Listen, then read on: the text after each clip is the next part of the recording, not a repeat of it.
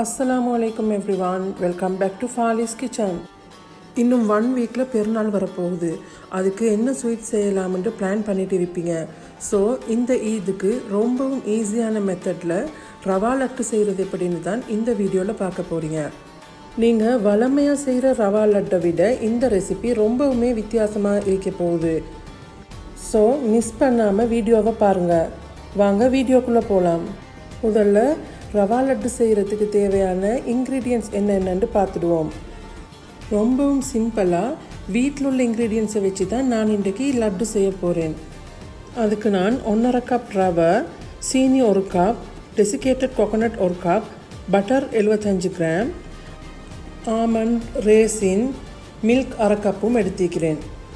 Almond இல்லாட்டி கெஷ்யூ nut பீனட்ஸும் எடுத்துக்கொள்ளையிலும் இன்றைக்கு நான் ஃப்ரெஷ் மில்க் எடுக்காமல் ரெண்டு டேபிள் ஸ்பூன் மில்க் பவுடரை கரைச்சி தான் மில்க் எடுத்திக்கிறேன் ஒரு பேனில் ருளானை போட்டு அதை கொஞ்சம் வறுத்து கொள்ளணும்.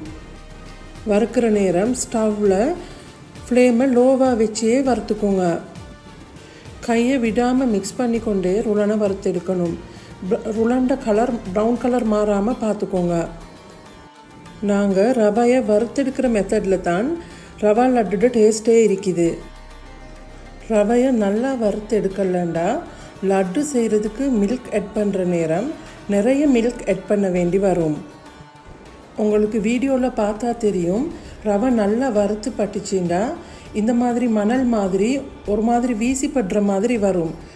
இந்த மாதிரி ஒரு பதம் வந்ததும் ரவையை அடுப்பில் இருந்து இறக்கி வேறொரு பிளேட்டுக்கு மாற்றி கொஞ்சம் ஆற வச்சு எடுத்துக்கோங்க.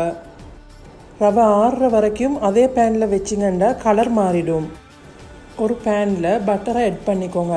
நான் இன்றைக்கி நான்ஸ்டிக் பேன் ஒன்று தான் எடுத்துக்கிறேன்.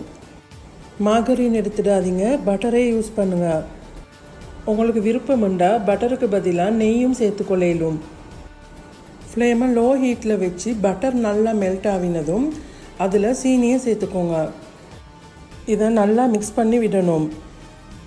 சுகர் கொஞ்சம் மெல்ட் ஆகி வார நேரம் அதில் மில்க் ஹாஃப் கப்பையும் சேர்த்து நல்லா மிக்ஸ் பண்ணுங்கள் மில்கை சேர்த்து மிக்ஸ் பண்ணுற நேரம் தான் இந்த சுகர் எல்லாம் நல்லாவே மிக் மெல்ட் ஆகும். நான் இன்றைக்கி மில்க் பவுடர் மில்க் தான் சேர்த்திக்கிறேன்.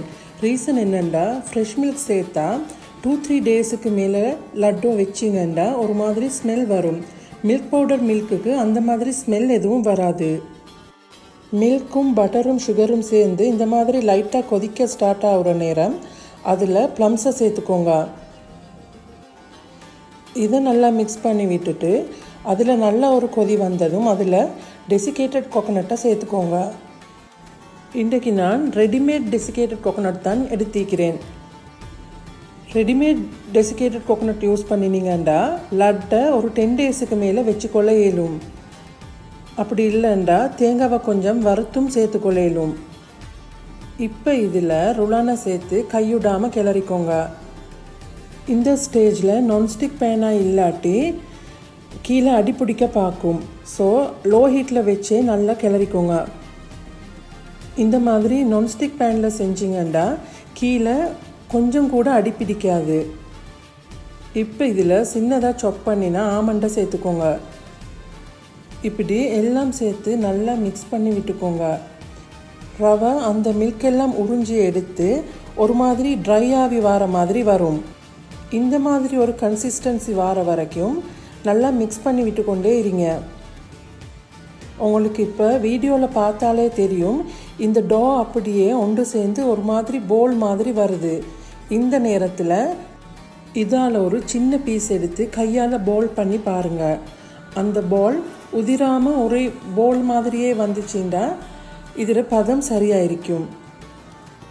இந்த பதம் இருந்துச்சுண்டா பேனை உடனே அடுப்பில் இருந்து இறக்கிக்கோங்க. இந்த மிக்சரை கொஞ்சம் ஆற வச்சுக்கோங்க. சின்ன சின்ன போல்ஸாக செய்யாமல் இந்த மாதிரி ஒரு ஸ்பூனை வச்சு தான் நான் இன்றைக்கி ரவா லட்டு செஞ்சுக்கிறேன். இந்த மாதிரி கொஞ்சம் பெருசாக ரவுண்ட் ஷேப்பில் உள்ள ஒரு ஸ்பூனில் பட்டரை கொஞ்சம் தடவிட்டு அதில் ரவா மிக்சரை வச்சு கையால் கொஞ்சம் இந்த மாதிரி ப்ரெஸ் பண்ணிக்கோங்க. ரவா மிக்சர் நல்லாவே ஆறிடாமல் கொஞ்சம் கையால் பிடிக்கக்கூடிய சூடு இருக்கிற நேரமே இந்த மாதிரி போல்ஸ் செஞ்சுக்கோங்க. அப்போ தான் எங்களுக்கு ஷேப்ஸ் கிடைக்கும். இது நான் லட்டு செய்கிற ஒரு மெத்தட் இந்த மாதிரி இன்னொரு மெத்தட்லேயும் செஞ்சு கொள்ளையிலும் அதுக்கு இந்த மாதிரி ஒரு சிலிக்கான் மோல்டு எடுத்து அதில் ரவா லட்டு மிக்சரை வச்சு நல்லா ப்ரெஸ் பண்ணி வச்சுக்கோங்க.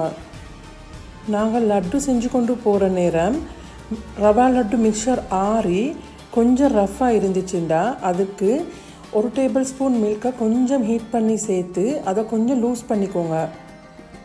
மிக்சர் இந்த மாதிரி கொஞ்சம் வெட்டாக இருந்தால் தான் இந்த மாதிரி ஷேப் எடுத்துக்கொள்ள இயலும். இந்த மாதிரி மோல்டில் வச்சிங்கன்றாலும் சரி ஸ்பூனில் வச்சிங்கன்றாலும் கையால் போல்ஸ் பிடிக்கிறதுனாலும் சரி இந்த மிக்சரை வச்சு நல்லா ப்ரெஸ் பண்ணியே விட்டுக்கோங்க. இப்படி செஞ்சால் மட்டும்தான் இது ட்ரை ஆகினதும் நல்லா ஹார்டாக வரும். இந்த மாதிரி மோல்டில் வச்சு ஒரு அஞ்சு நிமிஷத்துக்கு பிறகு ரிமூவ் பண்ணிக்கோங்க. இல்லாட்டி அது உடஞ்சி ஷேப் மாறி போயிடும். இதை ரிமூவ் பண்ணுற நேரமும் மோல்டை கீழால் ப்ரெஸ் பண்ணி மெதுவாகவே ரிமூவ் பண்ணிக்கோங்க. மில்க் பவுடரில் செஞ்ச மில்க் சேர்த்திக்கிறதால இதில் டேஸ்ட் சூப்பராக இருக்கும். இந்த ரவா லட்டு நல்ல ஒரு மில்க் டேஸ்ட்டோட கணக்கான ஸ்வீட்னஸோடையும் இருக்கும். ஒரு டிஃப்ரெண்ட்டுக்காக இந்த இதுக்கு என்னோட இந்த ரவா லட்டு ரெசிபியை ட்ரை பண்ணி பாருங்கள் இன்ஷா அல்லா அப்கமிங் வீடியோஸில் இன்னும் நிறைய ஸ்வீட் ஐட்டம்ஸ் எல்லாம் வர இருக்குது. ஸோ கண்டிப்பாக இந்த ரவா லட்டுவையும் ட்ரை பண்ணி பாருங்கள் இந்த வீடியோ பிடிச்சிருந்தா உங்களோட ஃப்ரெண்ட்ஸ் அண்ட் ஃபேமிலி கூட ஷேர் பண்ணிக்கோங்க. ஏண்ட சேனலுக்கு நீங்கள் புதுசாக இருந்தால் கட்டாயம் சப்ஸ்கிரைப் பண்ணிக்கோங்க. ஸோ இதே மாதிரி நல்ல ஒரு ரெசிபியோட அடுத்த வீடியோவில் உங்கள் எல்லாரையும் சந்திக்கிற வரை டேக் கேர்